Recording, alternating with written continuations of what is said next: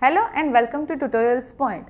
In this video session, we are going to learn that how particular JUnit test case will be executed. So, we will be seeing the execution procedure. For that, we need some example and for that, we will be creating one class first. For example, we will be creating student class.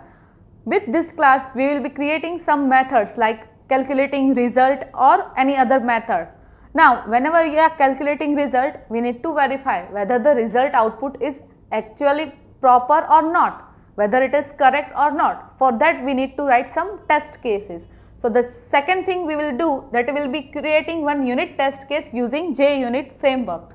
Then we will be executing that test case and we will be verifying the results whether it meets the user requirement or not.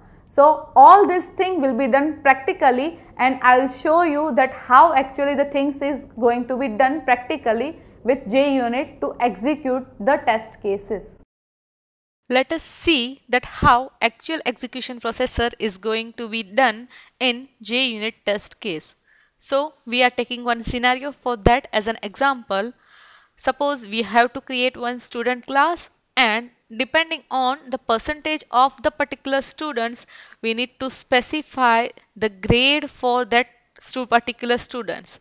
And the criteria is written over here that if the percentage is less than 35 then it should be fail.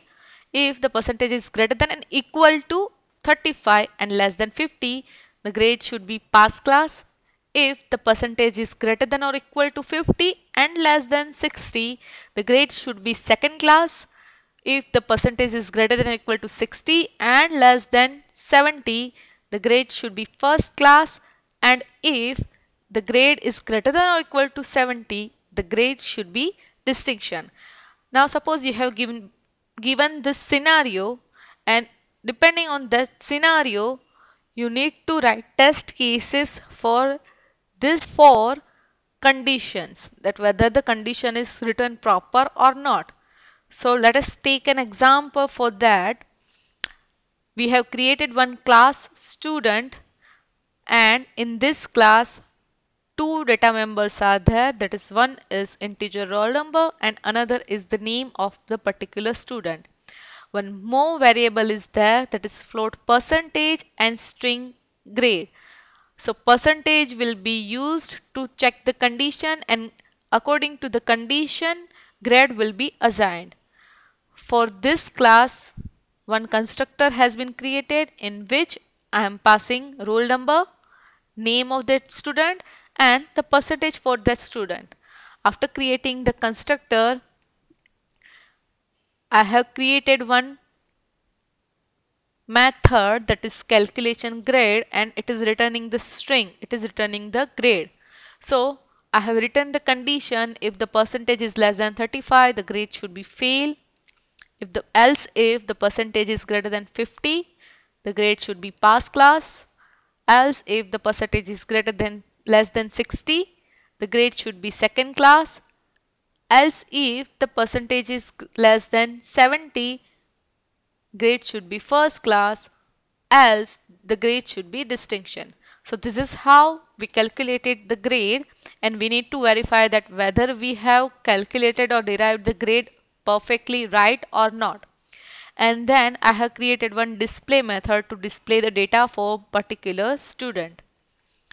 Now to check whether this code is according to the requirement that have we have written over here whether this two thing matches or not or whether th these two things are verified properly or not.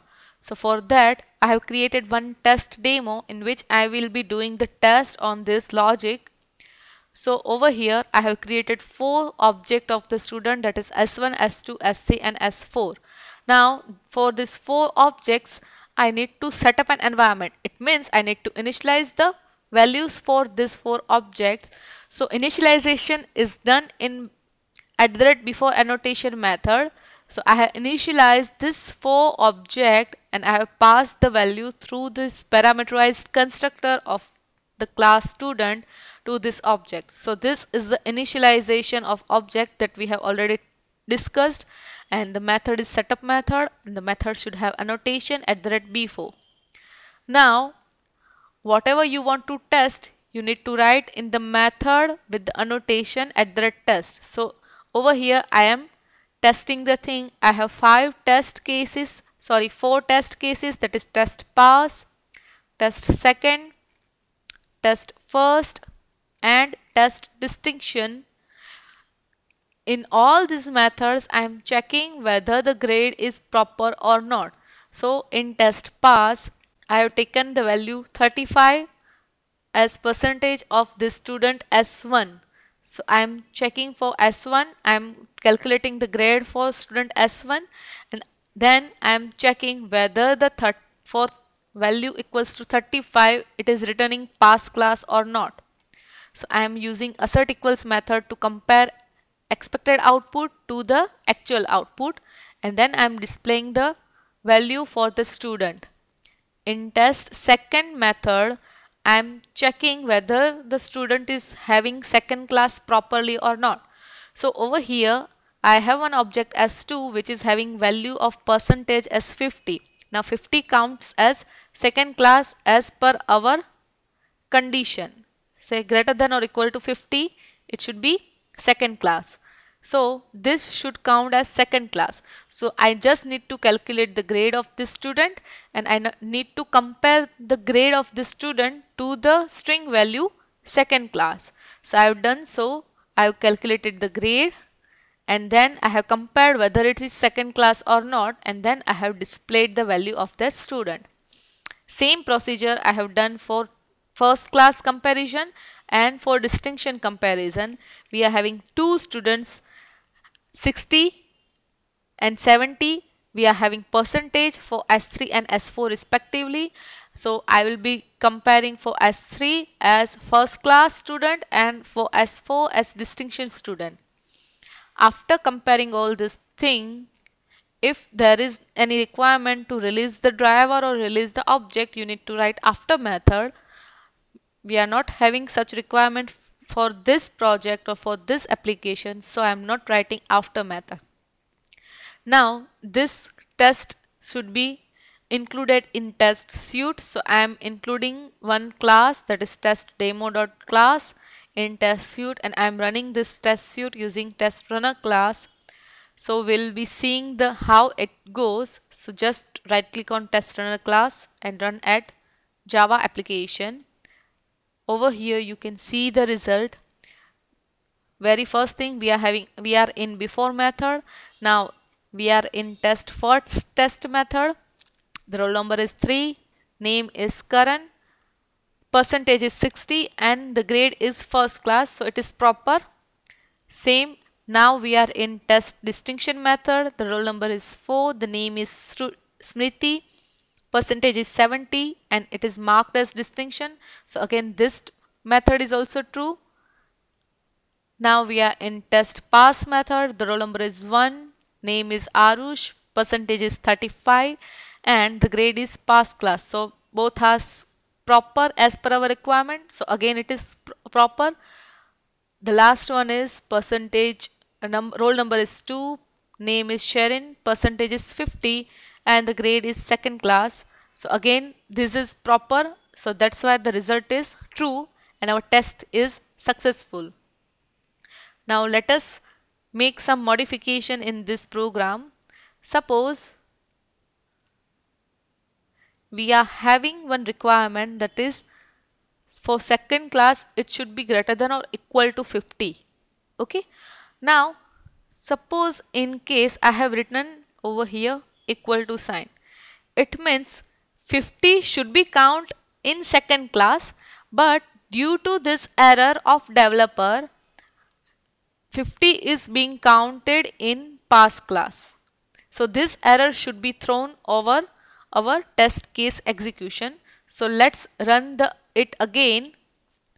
Whenever we will be having any failure in test case, our test case will be interrupted from there. So test case will not be executed further.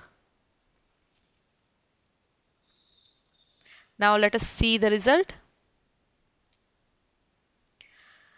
Okay, this test case is pass, this test case is pass, the test case for pass class is pass, but the test case for second class is failed. So we are having a failure that is expected was second class but actual is past class. So it is showing that where our strings are or where our results are different. And as one test case has been failed the whole test suite execution is failed. So the false is written. Again we can see that whether it terminates the thing or not terminates the execution or not so we'll be having over here suppose I am writing over here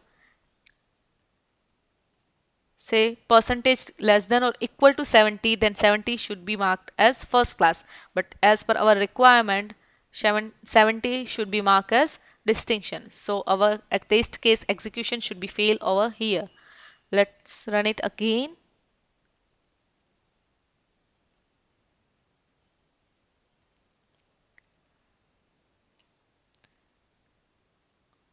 now test distinction has been failed. It is failed due to this error and that's why the result is false. And because the test has been failed the data display method has not been executed over here. As I said that the test for the particular test case will be interrupted. So this display method is not called over here because test has been interrupted from here this is how the execution procedure is being done in JUnit and how actual the framework is designed. So that's the program, sample program to, for the execution procedure in JUnit. Thank you.